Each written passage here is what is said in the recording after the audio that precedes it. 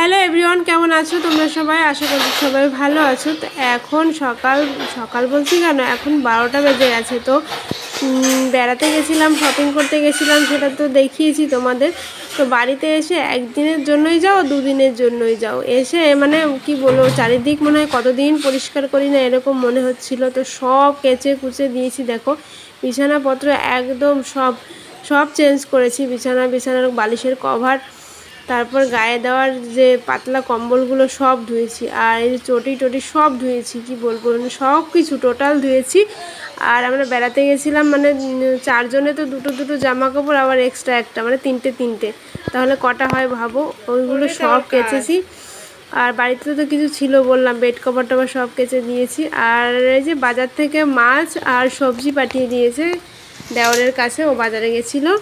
তো আমি বলেছিলাম বাড়িতে সবজি আছে অনেক তো কিছু একটু বাঁধাকপি আর একটু পালং শাক পাঠিও আর মাছ পাঠিও ছোট মাছ। তো তাই পাঠিয়েছে পাটাপোনা মাছ আর হচ্ছে এই যে পালং শাক আর বাঁধাকপি। তো এই রান্না করেছিলাম আজ। তারপরে বিকালবেলায় আমাদের একটু বিকালে তো না সন্ধ্যার দিকে রান্না মানে স্টার্ট হয়েছে। প্রথমে তো তোমাদের দেখালাম। এখন ভিডিওটা আমার মেয়ে করে দিচ্ছে আর এদিকে আমাদের বাড়িতে হরিসভা হচ্ছে আজ হরির নাম কীর্তন হচ্ছে। তো আমি হচ্ছে কারণ হচ্ছে আমাদের বাড়িতে দুটো গরু আছে তো বাচ্চা দিয়েছে তার জন্য তো উম, হরি ঠাকুরের নাম করে মেলা দেয়। তো আমাদের মধ্যে তিন নাথের মেলা বলে আবার অনেকের মধ্যে কি গায়ের নামই বলে তো কাদের মধ্যে কি বলে আমি জানি না তো যা বলে তাই বললাম।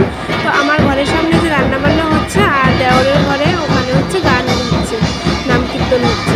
তো এদিকে আমরা সবজি টবজি সবাই মিলেই কেটেছি আর এদিকে দেখো কেউ বসে আছে আর এই যে বাচ্চারা হরিবোল দিচ্ছে এই যে বাচ্চারা। দেখো কতটা ভালো লাগছে। আসলে না, এই আওয়াজটা কানে গেলে আমার না সত্যিই খুব ভালো লাগে। খুব ভালো লাগে। আর এদিকে গান বাজনা করছে। গান বাজনা অবশ্য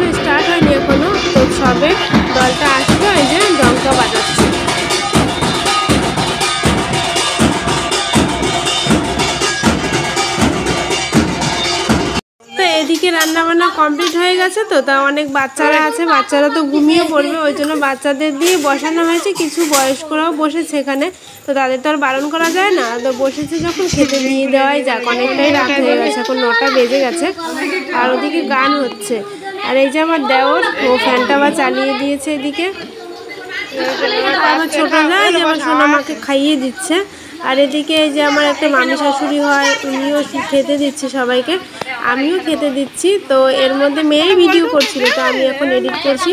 আমি এডিটটাতে একটু ছিলাম।